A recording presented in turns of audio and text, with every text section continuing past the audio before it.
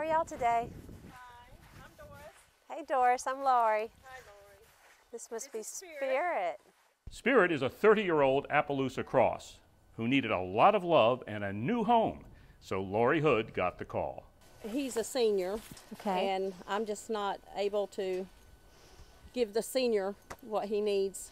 He needs a little extra feed. A lot of extra feed. Yeah, for yeah. for his um, age, and um, I just wanted him to go to a good place. Well, good. And I didn't want him put down. That good place is the Alaqua Animal Refuge in Freeport, Walton County, Florida, where rescued and abandoned horses, along with dogs, cats, birds, and other animals, live the good life until they are adopted.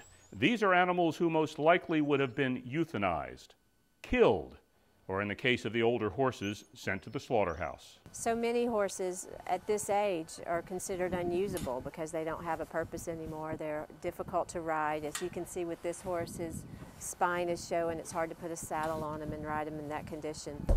You okay? Come on. Spirit's first couple of weeks at Alaqua were touch and go. He refused to eat and was rapidly losing strength.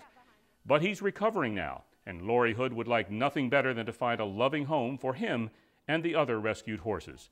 If you are interested, please call the refuge at 850 880 6399. For Alaqua TV, this is Carl Ward.